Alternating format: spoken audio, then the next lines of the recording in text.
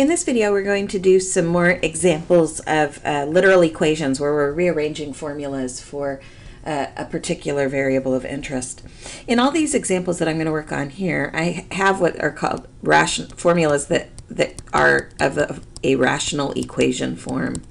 And this means, if you recall, that uh, any rational equations are ones that have these fractions with variables in the denominator. So for these problems, if I want to try to solve, uh, one of our strategies when we were dealing with rational equations before was the concept of we hate fractions, so let's rewrite this equation with no fractions. This is a particularly wonderful idea when you're dealing with literal equations because things don't cancel out very well. And um, if we don't use this strategy of getting rid of those fractions, um, oftentimes we end up with complex fractions as part of our solution process where you have fractions inside of fractions and they get really ugly. So the best way to avoid that is just by getting rid of the fractions, and to do that we want to multiply by things that are going to get all of our denominators to cancel. So for example, in this problem here, notice that we have a k2 and an m1, so if we multiply each side by a k2 and an m1, then we'll be able to get rid of the denominators. On the left, the k2 will cancel out and leave me with m1 and k1 together. On the other side, the m1s will cancel out and leave me with k2 being multiplied by m1 plus m2. So I've been able to rewrite my equation now with no fractions, and that's going to be a huge help. Now at this point, notice that I have m1 on this side and I have m1 on this side, and that's what I'd like to get by itself. The problem here now is I have more than one of them. So we're going to use the strategies that we learned in the last video, and that is first we need to get anything with an m1 on the same side of the equation and everything else on the other side. Right now the m1 is trapped, so I'm going to need to get it out of this set of parentheses, and remember we can use the distributive property to do that. So using the distributive property, I'm going to end up with m1 times k2 plus m2 times k2. Now, I'm putting the m's in front just so that they look similar to what's on the left-hand side, but keep in mind that when you have things like this being multiplied together, the order that you multiply does not matter. So we could have written this as K2M1 and K2M2, and that's perfectly fine. Um, now I've got M1s on both sides of the equation, so I'm going to go ahead and move this M1 K2 over to the other side. On the right, the M1 K2 cancels out. On the left, these things look very similar, but they're not like terms because the first one has an M1 with a K1, and then the second term has an M1 with a K2. So that's really as far as I can go. I can't combine those anymore. On the right-hand side, I have M2, K2. And again, remember these subscripts just mean that they're different variables. M1 is different than M2, K1 is different than K2, and you just need to treat them as such. All right, now I've got my M1s both on the same side of the equation. So our next step is to go ahead and pull that M1 out as a common factor. And that gets us from having two m1s in our equation to now only having one. When we pull out the m1, we're left with a k1 minus k2 behind. On the right-hand side, I still have that m2 k2 that was there before. All right, I'm just going to copy this over so you can kind of see how this progresses. We have m1 k1 minus k2 equals m2 k2. Now, I still want to get the m1 by itself. It's being multiplied by this parentheses group, so to get rid of it, I can divide by k1 minus k2. Do that on each side. Here, the m1 minus, or the k1 minus k2 cancels and leaves my m1 alone, which I want.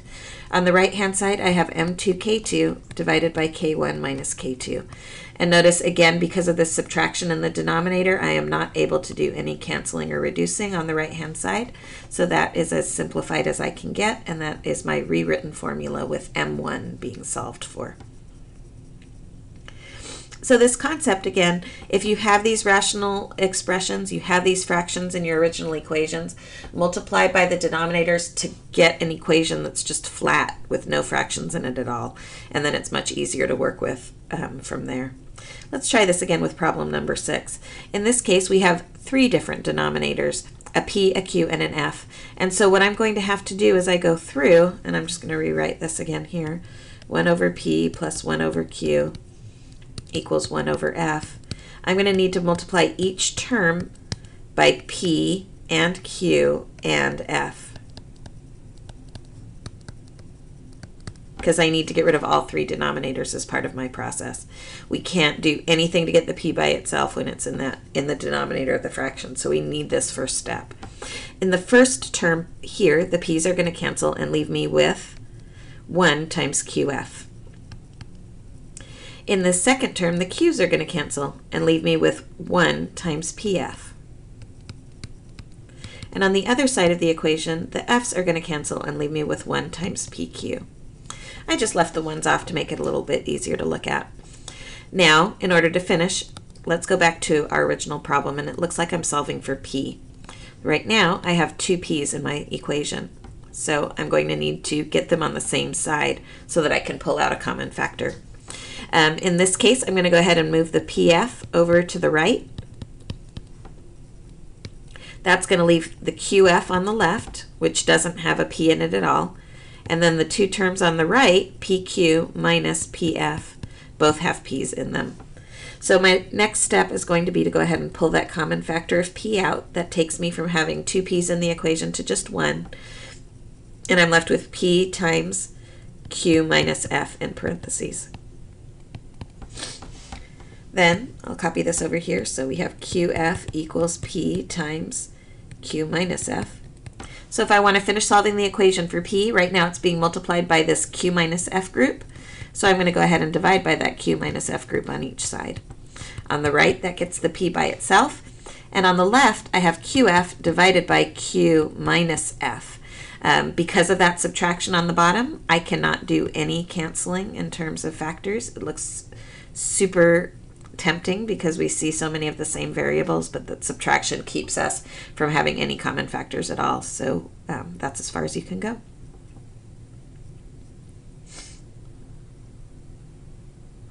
All right, and this brings us to our very final example. Um, in this case, we want to get, we have a equals f times the square root of 1 minus v squared over c squared, and we want to solve this for v we have multiple problems or multiple issues in this particular problem. We want to get the v by itself. It's trapped inside the radical, so that's going to be an important part to get out. I also have a fraction, but it's also trapped inside the radical, and so um, let's go ahead and get rid of that square root symbol first. Before we can get rid of the square root, we're going to need to get rid of the f. That's the farthest thing away from the v. Um, in my problem. And notice there really is only one v here too, which is cool. So um, Let's go ahead then and divide both sides by f. Again, we're looking for the weakest link. All of this 1 minus v squared over c squared is inside the square root, and then the f is outside of even that. So we need to get rid of the f first. So we're going to start by dividing both sides by f. That's going to get me a over f equals the square root of 1 minus v squared over c squared. Again, because there's only a single v and it's inside this square root, I want to think about undoing all the things that are on the same side as it. Um, be, right now I've got this square root. To get rid of a square root, I can square both sides. On the right-hand side, the square and the square root undo each other. That's their only purpose. And I'm left with just 1 minus v squared over c squared. So that works really nice. On the left-hand side, I have a squared or a over f squared, and that's the same as a squared over f squared, where I'm able to go ahead and square both the top and the bottom.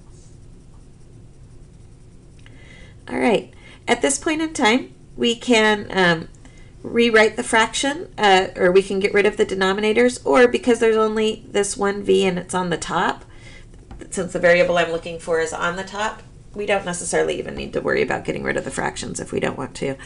Um, we can just peel all these other pieces away. Um, at, in this case, the c squared is part of a division problem, so this 1 over here is a weaker link, so we can subtract 1 from each side. That's going to get me a squared over f squared minus 1. And on the right-hand side, I'm going to have negative v squared over c squared. If I want to finish getting this by itself, um, I'm going to need, right now I want to get that v by itself. I've got to get rid of the c squared and the negative. I can multiply both sides by uh, negative c squared in order to do that. On this side, the negative times the negative makes a positive. The c squared times the c squared, or the c squared on the bottom and the c squared on the top, right, because we were multiplying, cancel out. And I'm left with just v squared. On the right-hand side, think of this as c squared over 1. I'm going to have negative c squared a squared over f squared minus And then the negative times the negative is going to make that actually plus c squared.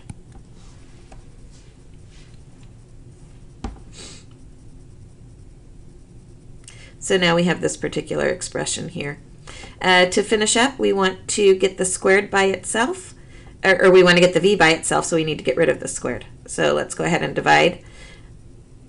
Not divide. We want to get the v squared by itself. To undo a square operation, we want to take the square root. So we're going to take the square root of each side. On the right-hand side, the square and the square root undo each other and leave me just with a v.